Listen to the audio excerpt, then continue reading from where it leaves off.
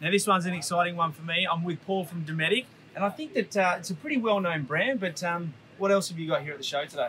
Yeah, well, as you know, Dometic's a worldwide company, been around forever in the RV industry, especially. They've been doing all the appliances that you would utilise for um, essential living when you're mobile. Um, hygiene, climate control, refrigeration, cooking.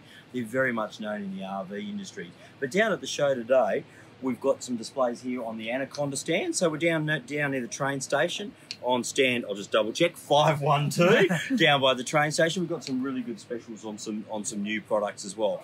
Up in the Silver Jubilee Pavilion, we've got our corporate display with a lot of the RV sort of stuff. And they're at the southern end of the Silver Jubilee Pavilion. Yeah, I must admit, if you want to see a nice pull-out kitchen, you head up there. They've got an amazing pull-out kitchen. But carry on. I don't want to. Yeah, no, no, no, no worries. Um, we've got some really interesting products that we've been launching at the show. As you saw, you saw the slide-out kitchen, which is well worth a look at uh, up at the corporate stand. But here down in um, Anaconda and also on our George Day stand, we've got a couple of new products that I'd like to show you. Let's take a little walk over and we'll have a look. All right, Paul. So take me through this little uh, little thing you've got here. Yeah, well, this what is, this is really interesting. Probably as you're aware, battery technology is going through in leaps and bounds. You've got the Tesla cars with lithium batteries in them, but really is the future is here now. This is Dometic's new PLB40, a portable lithium battery. LiFePO4. Geez, that's a big word. Yeah, yeah. So it's lithium iron phosphate four cell. So what the interesting thing about a lithium battery is feel the weight of that. What do you reckon? Light as? Yeah, it's light as. So it's 5.474 kilograms, but it's a 40 amp hour lithium battery, which is the equivalent of an 80 amp hour AGM battery. So those big batteries that you'd have for dual, dual battery systems.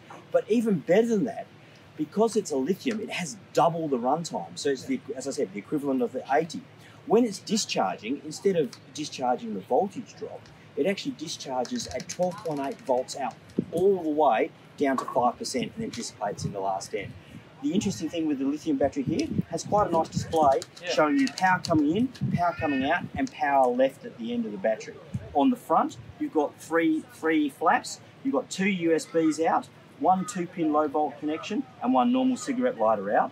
On the back, it comes with a two 40 volt chargers. You can charge in your garage at home, at your uh, caravan and camping camping um, park.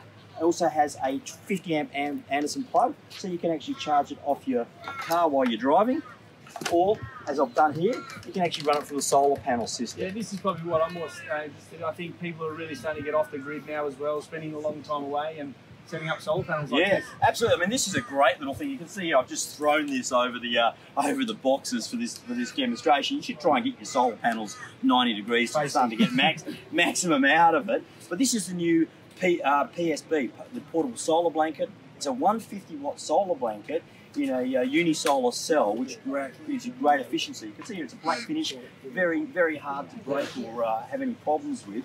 This one puts out a whopping 8.69 amps an hour of recharge an hour. And you can see here, big thick cabling going through the battery. You can just monitor it as it goes off the front end. And this is obviously plugged straight into your fridge freezer here. Yeah, like we're doing it all here. Talk about Yeah, environmental if friendly. if we were uh, if we were camping, it'd probably be full of some beers, but we've got some nice old co- cold water for you exactly right. So there we go. Come down to the Dometic stand, have a chat with Paul, and he'll take you through some of the amazing show specials. Happy camping.